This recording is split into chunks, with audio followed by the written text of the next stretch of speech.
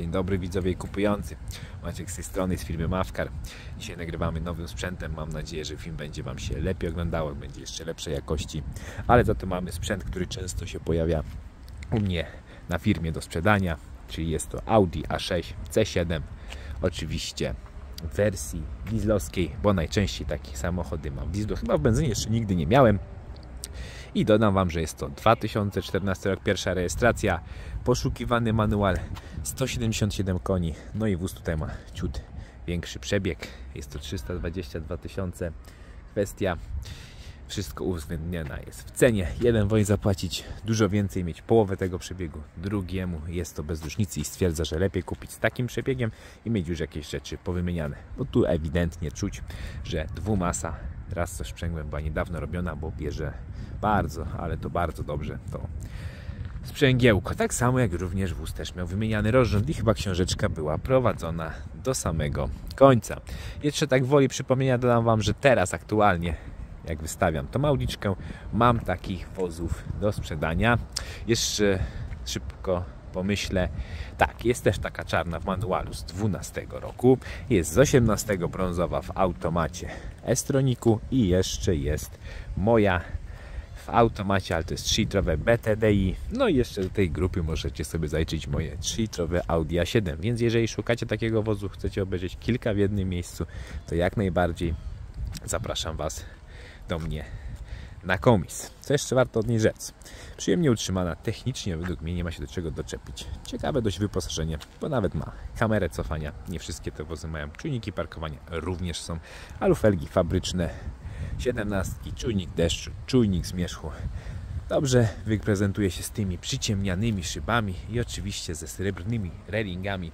Ja to bardzo lubię w tych autach, to taka jest sportowa elegancja. No i oczywiście coś, co musi być w tym wozie. Macie przednie reflektory w technologii ksenonowej, czyli macie pasek LED, który oczywiście nadaje tym wozom świeżości. No i oczywiście pasek też jest z tyłu, żeby nie było tak, że tylko z przodu macie.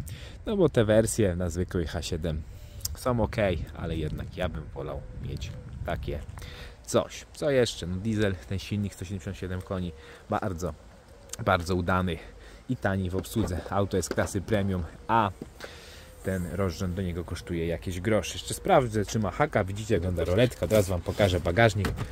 Bagażniki naprawdę są w nich ogromne. Spójrzcie, możecie zapakować sobie do oporu i sprawdzimy, czy ma hak.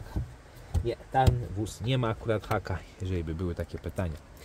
To już wiecie. I cóż, no a, a szóstkach, c siódemkach nagadałem się wiele. To jeszcze mogę Wam pokazać. Proszę bardzo, kamera. Więc bardzo wygodnie się tym wozem parkuje. Ja zatem sobie przejdźmy do środeczka. No to zaczynamy od nagrywania książki serwisowej. Tutaj widzicie pierwsze wpisy, oczywiście w ASO. Te wpisy ciągną się do 143. Potem już macie serwis ATU, jeden z bardziej sprawdzonych i lubianych serwisów w Niemczech. I tu przy okazji chciałem Wam pokazać Zahnriemen, czyli pasek rozrządu wymieniony przy 205. Te wozy pierwszą wymianę miałem na 210, teraz ma 322, więc myślę, że jeszcze troszeczkę można na tym polatać. No i tutaj jego jeszcze ostatnie kolejne wpisy. A kolejnym dokumentem potwierdzającym jego przebieg jest ważny przegląd T. Widzicie od razu sobie jego win. Był robiony przy 219, 23 w maju. Jest ważny do 25 roku, ponieważ Niemcy mają przeglądy na 2 lata. A tam jeszcze macie homologację od przyciemnianych szyb. No i opowiem Wam sobie o wnętrzu, bo jak to kiedyś ktoś powiedział mądry, nie ma dwóch takich samych Audi.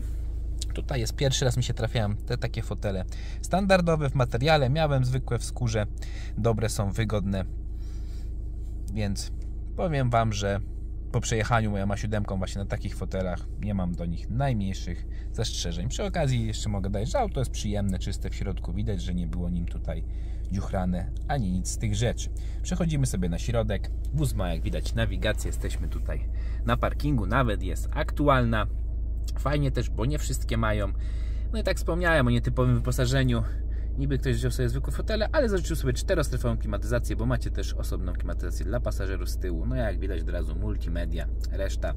Auto jest bez popielniczki, więc raczej nie było w nim palone i też ja nie czuję, ja nie palę, nie czuję takiego woni papierosów. Tu widzicie standardowe przyciski, możecie sobie wszystko ustawić, wejść w ustawienia. Car, Dynamic, tutaj ustawiania tego Drive Selecta, czyli jakiś tam odczuć z jazdy. Lusterko wsteczne z fotochromem, wygoda. Przechodzimy na środek, tutaj zwykły wyświetlacz, ale za to rzućmy wsteka i macie kamerę. No i jeszcze w międzyczasie, jak tutaj nagrywałem, to zmieniła się wysokość lusterka. Lusterka są z taką ala pamięcią, żeby po prostu przy cofaniu Wam się jeszcze lepiej parkowało.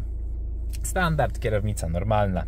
Spójrzcie, 322 tysiące i nie widać praktycznie zużycia. Zobaczcie, jak tutaj dobrze wygląda boczek. Widać, że to było raczej robione po trasach niż ktoś na stop by wysiadał.